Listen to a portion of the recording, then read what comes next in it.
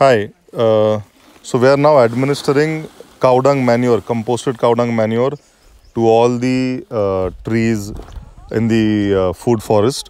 So this is manure from our uh, desi cows, the gir cows that we have on the cow shed.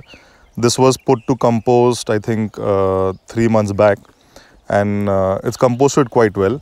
So since we have water now, we are administering a dose of manure.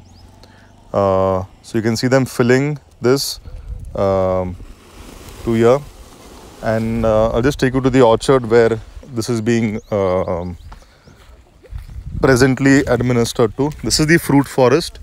Uh, we have chosen the uh, lime trees, the nimbu trees, for uh, giving the manure right now. So you can see in what format it's being given to the trees. So this is how uh, we give it. Not too much at the base, uh, keeping some distance from uh, the base. The the manure is hot. If you see it, it's literally hot. You can feel the uh, temperature of it also. So this this cow dung manure has all the beneficial microorganisms. It also has carbon. Uh, it also has all the nutrients in the available form. It's composted well. This is the Nimbu tree in the food forest orchard. This is the manure.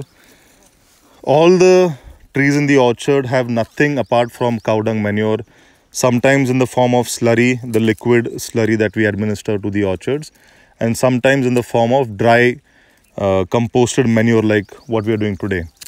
So, the last time we gave these Nimbu trees manure was four months back. So, on an average, every three, four months, we are uh, giving these trees manure. So you can see her spreading the manure now. You don't actually administer it to the root zone because it is it is quite hot. You keep you keep some space and uh, you administer it. Now over this will come the drip pipe, the drip irrigation pipe, which will kind of wet it, and slowly, slowly, slowly, all the nutrients and stuff will start going in the soil. Uh, the microbiology will start developing and the tree will get what it needs. So just a little, not much, around 2 kgs per plant is what we are giving them. So the Nimbu trees, the variety of these trees is Kagzi. It's an old Desi variety. It's not the new Sai Sarbati variety.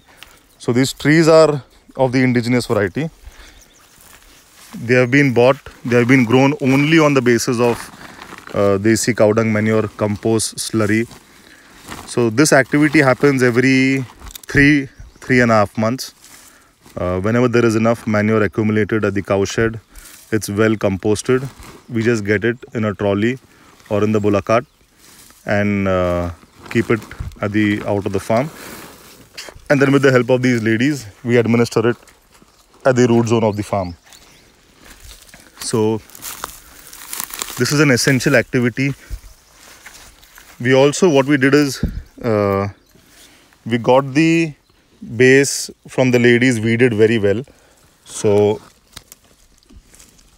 there is very less weeds at the base right now we got it done by hand in the morning yesterday and today morning and now we're giving uh, the root zone the manure so manuring is essential initially at least for the three, four years till soil microbiology develops. Uh, of course, the more manure you give, especially cow dung manure, the better it is. Uh, you can keep giving manure throughout the life of the orchard and the tree. It is always beneficial.